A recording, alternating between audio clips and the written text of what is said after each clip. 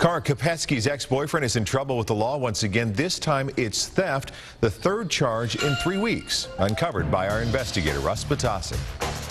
According to this probable cause statement, the theft inside this tattoo shop occurred before the July assault on his current girlfriend and the new charges of animal abuse.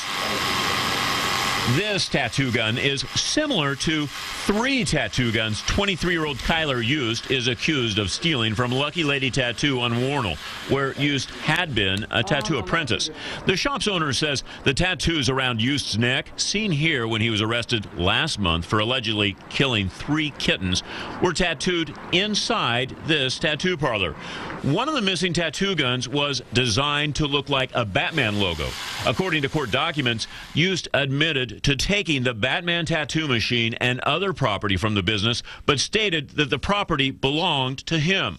In 2007, days before her disappearance, Kara Kopetsky filed a restraining order against Yust, claiming he choked her, kidnapped her, and threatened to slit her throat. And just last month, Yust pleaded guilty to choking his then girlfriend in July of this year. She told police he told her during the attack he'd killed ex girlfriends out of sheer jealousy.